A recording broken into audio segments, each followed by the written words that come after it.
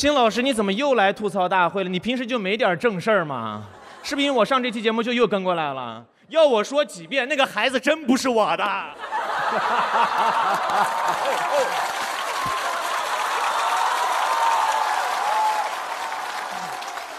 啊，当然也不是你的，我也不知道为什么要提孩子，可能是因为可爱吧。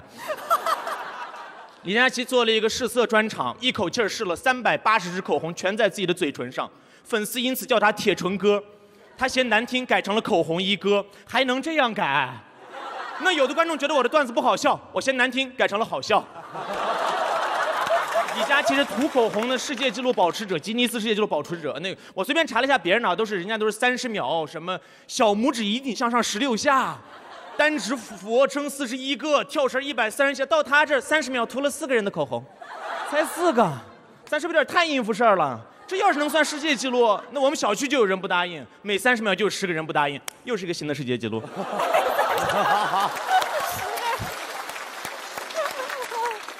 很多人说李佳琦直播太浮夸了，我看了，确实太浮夸了，我都觉得浮夸，他得多浮夸。我真的，但我也理解他，他理智不起来，我们无法想象他理智在那直播那种啊，这个色号，Oh my，这款产品令我惊讶。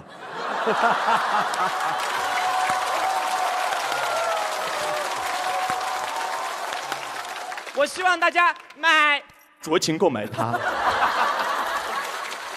李佳琦，你个大老爷们儿，能不能别老推荐女人用的东西？能不能推荐点咱们男人也能用的？比如篮球、胸毛梳、足球丝袜之类的。然后咱们直播也别光给女性群体播，一上来就 “Hello，姐妹们，今天有什么？”给咱们男性也播一播。一上来要弟兄们，今天给大家试个口色儿，两个色儿，红色儿和红色儿，因为我分不清色号什么的，给大家详细解释一下吧。这个是春节红。这个是中国红，请大家酌情购买。那天我看他直播，听到他说那种各位宝贝，只要你们家只要给我五分钟，我就能让你们下单什么的。我看了五分钟，然后憋着就不下单，结果他把我踢出了直播间。我回去一看，那直播间卖的是康王，那可是去屑大魔王。这个产品我都没买，一定是头皮屑阻碍了我的思路，踢得我是合情合理，一脚踢进了我心坎里。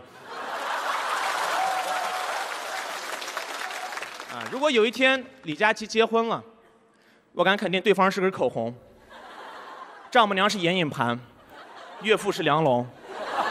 师傅，我段子讲好了，可以去把车开过来了。谢谢大家，谢谢。十二月份我将会开启自己的专场，叫班吉 Tino，请大家注意一下啊，大家关注一下。十二月全全国巡演，全国巡演。哦，对，我。